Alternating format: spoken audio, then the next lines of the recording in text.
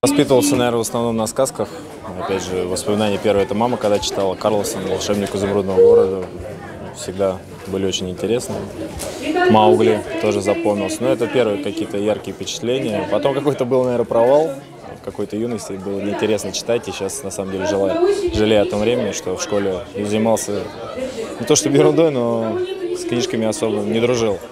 Потом пришлось какую-то классику наверстывать, но опять же так, в, мало, в малой степени все пока не удалось. В силу времени мне как-то более близки наши как мультики, так и книжки.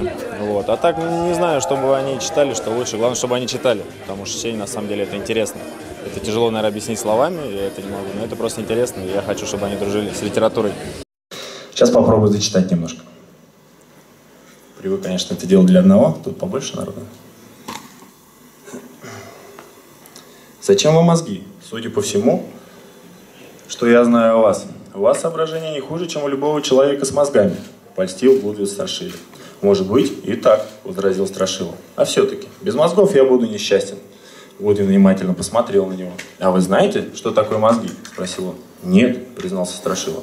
«Понятия не имею, как они выглядят». «Хорошо, приходите ко мне завтра, и я наполню вашу голову первосортными мозгами, но вы сами должны научиться употреблять их». Я, конечно, никак, Серега столько не буду много читать. Думаю, достаточно.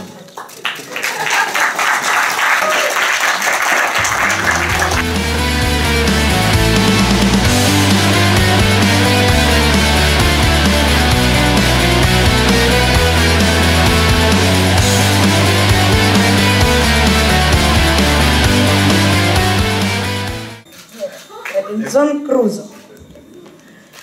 С того же дня я начал учиться, учить его необходимым словам. Прежде всего, я сообщил ему, что буду называть его Пятницей.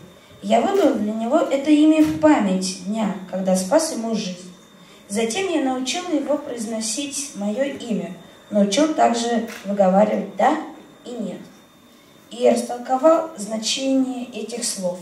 Я принес ему молока в глиняном кувшине и показал, как обма обмакивается в него хлеб.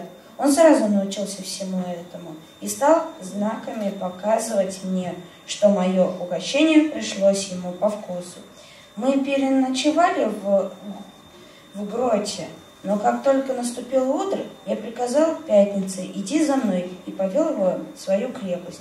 Я объяснил, что хочу подарить ему какую-то, э, какую, э, какую-какую одежду. Он, по-видимому, очень обрадовался, так как был совершенно голый. Молодец, справился. Спасибо.